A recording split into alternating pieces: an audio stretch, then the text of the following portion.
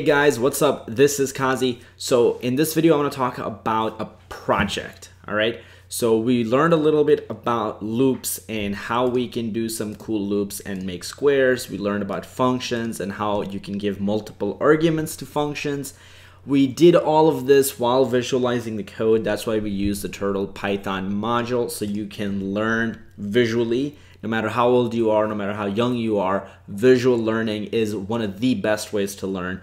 And to visualize your code, it's amazing because you get it right away.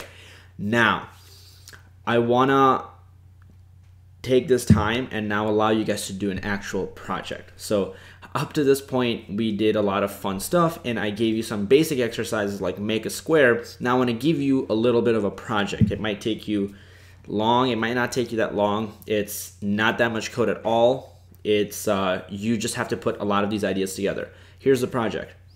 I want you to make a circle out of squares. What do I mean? Okay, just to be clear about what you need to do in the project and how it should look like, I've designed this demo for you guys. So check it out.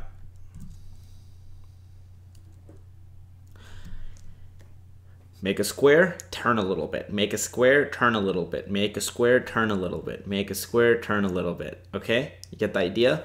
You keep going like this, and eventually you get a circle. And if you notice, and if you look really into it, you can probably keep looking at this forever.